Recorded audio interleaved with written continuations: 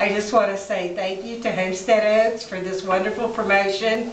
Rudy and I are going to have a wonderful time up at Wine on the Lake in Erie, Pennsylvania. Thanks to all my friends, my family for making this possible. Um, It's just going to be a great trip. Thank you all. Well, thank you, Barb, for playing, and I hope to see you soon up at Wine on the Lake. Now, you'll see me